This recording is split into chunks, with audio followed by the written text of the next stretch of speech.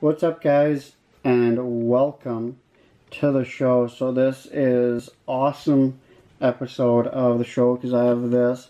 This is known as the Florida Shell Rock. It is just a amazing beauty. I had to show you guys as I just got this tonight to add to the uh, collection.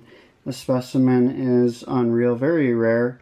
These you could only get them in in one place. Like it is just unreal to have this. The stories behind these uh, these shell rocks are just uh, amazing stories as well. This this would be considered to be a sedimentary rock.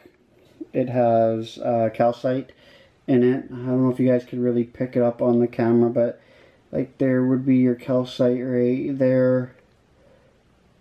You could you could kind of see. Uh, I don't know if you could pick it up on the camera there, but you could see uh, pieces of the calcite as well as the quartz. You see these streaks in it right there would be your quartz. I don't know if you guys could pick that up on the camera as as well, but it's it's really uh, I think this is a type of clay as as well.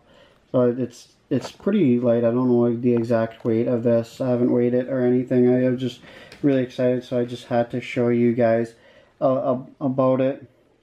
But uh, it's a Florida shell rock. Uh, it was mined out of the Indian River County in Florida.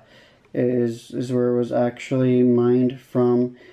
I guess the story behind it goes that approximately 200,000 years ago, uh, that location in Florida was actually submerged under the ocean water.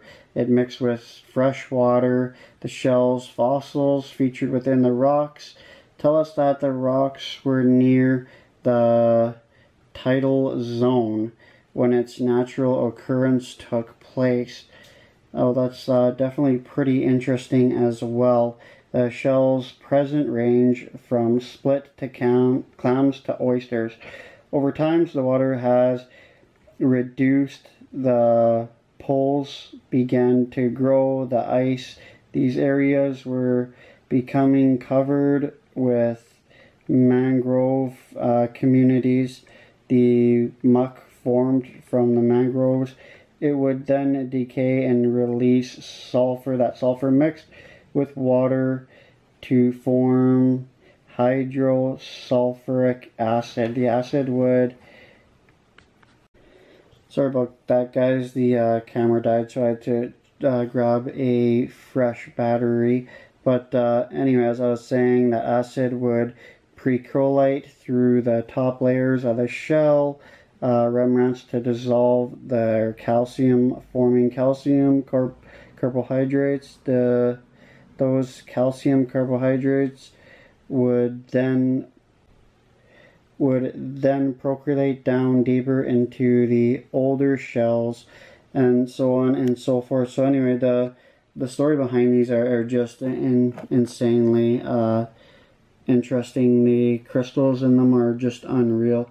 This is definitely an amazing, amazing um, specimen. I'm definitely really excited to actually have it in the collection. Uh, I'll do a more in-depth video on this uh, as I do a little bit more looking into this uh, specimen here. Uh, anyway, that's the rock. I'm, I'm really excited about it. Uh, like, comment, and subscribe.